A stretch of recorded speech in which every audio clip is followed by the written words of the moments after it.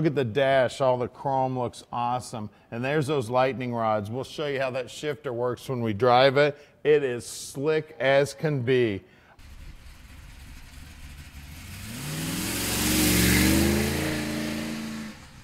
All right, let's take the 55 for a ride. I'll show you how these lightning bolts work. You can just pull them babies back one at a time as you're going back the racetrack, man.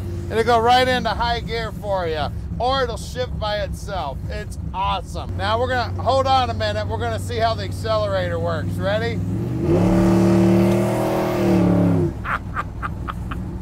Man, this thing is fast. You're gonna love this car, I guarantee. Of course, we gotta use those lightning rods again. Here we go. That's about half throttle right there. It sets you right back in the seat. Come on out and check out any car you want. Now I keep slamming those lightning bolts or lightning rods up to the front. You can run this thing in automatic mode and it'll shift itself.